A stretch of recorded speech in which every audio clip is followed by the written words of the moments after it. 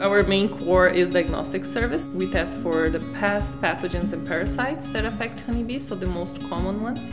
And also, we test the same uh, pathogens for other types of bees.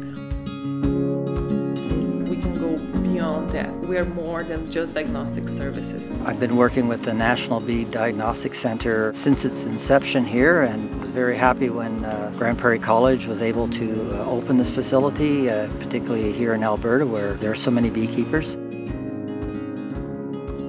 I couldn't imagine trying to analyze the health of a large scale commercial bee company without such a resource. Been a great diagnostic tool for us for uh, assessing uh, diseases in our hives and pests. Uh, the information that we get uh, we can use to uh, control those diseases. Students at the NBDC, they are very important. So they have the opportunity, they have a summer job working in the lab, so that will build up their skills and the experience working in the lab.